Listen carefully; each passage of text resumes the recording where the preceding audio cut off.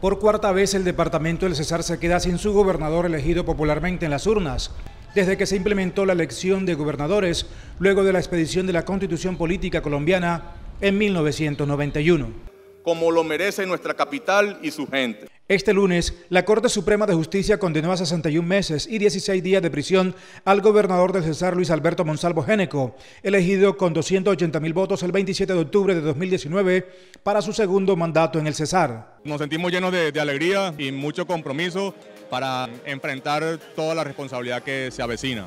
La decisión de primera instancia, que ya fue apelada por la defensa del mandatario departamental, también ordena suspender del cargo a Monsalvo Génico y nombrar gobernador encargado por parte del presidente Iván Duque Márquez. Porque este año le cumpliré una promesa al Cesar y a Valledupar. La condena contra Monsalvo es de cinco años, un mes y 16 días y deberá pagar una multa de 301.58 salarios mínimos legales mensuales vigentes. Quiero notificar a la ciudad mi compromiso de contribuir. En el pasado, los gobernadores que no han terminado su periodo constitucional son Lucas Geneco Cerchar, tío de Monsalvo Geneco, Rafael Bolaño Guerrero y Hernando Molina Araujo.